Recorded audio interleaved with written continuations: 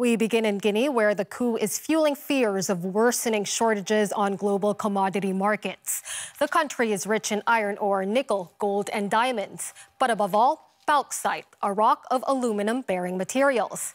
After Australia, Guinea is the world's largest exporter of bauxite, important, of course, for the manufacture of cars and aircraft. In the wake of the unrest, the price of aluminum rose to a 10 year high. Now, despite its wealth in terms of raw materials, the country is still poor and underdeveloped. In the World Bank's Doing Business ranking, Guinea ranks 156 out of 190, and the GDP per capita is only 1,100 US dollars. In Nigeria, by comparison, that figure is twice as high. Now, our correspondent Idris Uwais is following this story. He joins us now from Abuja. Welcome, Idris. Now, Idris, behind this coup, of course, was a strong current of economic discontent. What more can you tell us? Well, Guinea is one of the poorest countries in West Africa upon all its own resources. People are quite impoverished. This coup d'etat that happens is going to add to the situation in the country because already when the embattled uh, president who was overthrown by the military junta yesterday, he increased fuel price, which has added to skyrocketed prices, and then the inflation has gone over 10% in the country. So it is really going to be a serious problem for this right. West African nation. Now, what kind of economic impact will the coup have on the everyday lives of citizens, Idris?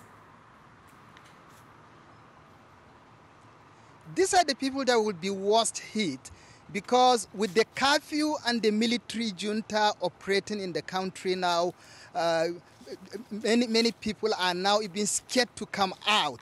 They are already impoverished. There is a curfew. That means they are going to stay indoors for some times until when they stabilize. Even if, if, if, it, if it has stabilized, it's a very weak economy that many people are finding it difficult to even feed themselves in the country.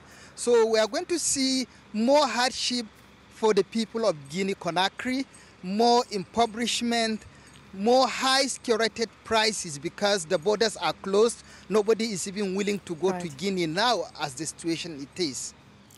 Now, things definitely set to get harder there, as you say. Now, earlier we mentioned the importance of mining to the country's economy.